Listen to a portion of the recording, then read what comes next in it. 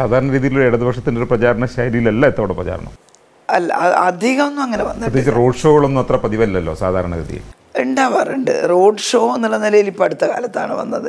അല്ലെങ്കിൽ പ്രകടനമാണ് ഉച്ചത്തിൽ മുദ്രാവാക്യം വിളിച്ച് ഞങ്ങൾ തൊണ്ട കയറി മുദ്രാവാക്യം വിളിച്ചിട്ട് റോഡിലൂടെ നടന്നു പോവുകയുള്ളൂ. എന്നാൽ ഇപ്പോൾ കുറച്ചും കൂടി ഒരു ആകർഷകമായി ഒരു പാട്ടൊക്കെ വെച്ച് റോഡ് ഷോ ഒക്കെ ആയിട്ട് നടത്തുന്നുണ്ട്. അതെല്ലാം ഈ പുതിയ തലമുറയിലുള്ള മാറ്റത്തിനനുസരിച്ച് ചെറുപ്പക്കാർക്കൊക്കെ ഒരു ആവേശം ഉണ്ടാവാൻ അതാണ് അവർ തിരഞ്ഞെടുക്കുന്നത്. അതിനെ നിരുത്സാഹപ്പെടുത്താറില്ല. ടീച്ചറുടെ ഒരു പ്രതിച്ഛായ നിലനിൽക്കുന്നുണ്ട്. കേരളത്തിലെ ഒരുപക്ഷെ കോവിഡിനെ നേരിട്ടിട്ടുള്ള നിപ്പയെ നേരിട്ടിട്ടുള്ള ഒരു മന്ത്രി ആ മന്ത്രിക്ക് കിട്ടിയിട്ടുള്ള ലോകതലത്തിലുള്ള പലതരത്തിലുള്ള അംഗീകാരങ്ങൾ. അത് എത്ര കണ്ട് ഈ മണ്ഡലത്തിൽ ഗുണം ചെയ്യും? അതിപ്പം ജനങ്ങളുടെ മനസ്സിലാണ് എന്താ നമ്മളെപ്പറ്റി അവർ ധരിക്കുന്നത് എന്നുള്ളത്.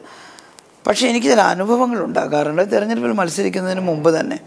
അപ്പോൾ ഞാൻ ട്രെയിനിലൊക്കെ യാത്ര ചെയ്യുമ്പം ആളുകൾ ശൈല ടീച്ചറാണല്ലേ എന്നുകൊണ്ട് വരാറുണ്ട്.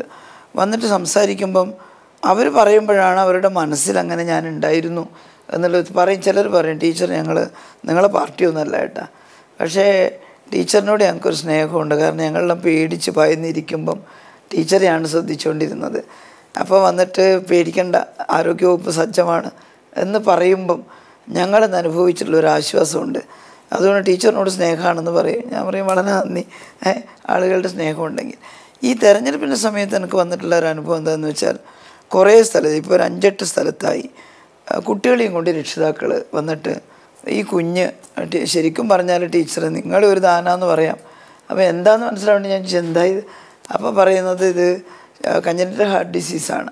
ഹൃദ്യം പദ്ധതിയിൽ ഓപ്പറേഷൻ ചെയ്ത കുട്ടിയാണ്. മെഡിക്കലായിരിക്കുന്നു ഇപ്പം. ഈ ഒരു കമ്പാരിസൺ പല കാര്യങ്ങളിലും നടക്കുന്നുണ്ട്. പ്രത്യേകിച്ച് ആരോഗ്യവുമായി ബന്ധപ്പെട്ട ചില കോൺട്രവേഴ്സികളൊക്കെ ഉണ്ടാകും ഇപ്പോൾ അതിജീവിതയുടെ ഒരു പ്രശ്നമുണ്ട്. പിന്നീട് ഇതിനകത്ത് ഒരു കത്രിക വെച്ച് മറന്ന സംഭവമുണ്ട്. ഇതുകൊണ്ടായപ്പം ടീച്ചറുടെ ഒരു കാലമായിട്ട് ബന്ധപ്പെടുത്തിയ ആളുകൾ കമ്പയർ ചെയ്യുന്നുണ്ട്. കുറച്ചുകൂടി അതിന് മാനേജ് ചെയ്യുന്നതിൽ കുറച്ചും കൂടി മിടുക്കോടെ ചെയ്യാമായിരുന്നു ഇപ്പോൾ ഈ സിസ്റ്ററെ തിരികെ പ്രവേശിക്കുന്നതിലടക്കം ഒരു കോൺട്രവേഴ്സി ഒക്കെ ഉണ്ടായി. അങ്ങനെ ഒരു കമ്പാരിസൺ വരുന്നത് പോലും ഒരു തരത്തിൽ അത് ടീച്ചർ നോക്കുമ്പോൾ അതിനകത്തൊക്കെ കുറച്ചുകൂടി ഇടപെട്ട് ചെയ്യേണ്ടിയിരുന്നില്ല.